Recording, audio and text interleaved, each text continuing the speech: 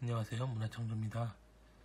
분석 14 의사결정 내역서 의사결정을 위한 내역서는 분류, 결정, 필요사항, 결정사항, 담당자, 요청일, 답변 일정 등으로 구분하여 엑셀 문서로 작성합니다.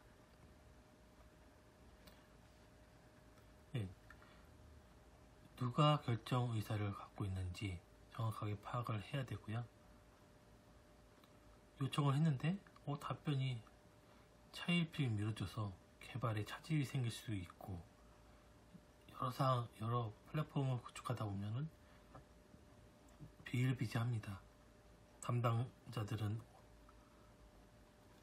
그래서 정확하게 분류와 필요사항과 결정사항과 이걸 꼭 해서 서로 공유하고 예, 업데이트 해야 되겠습니다.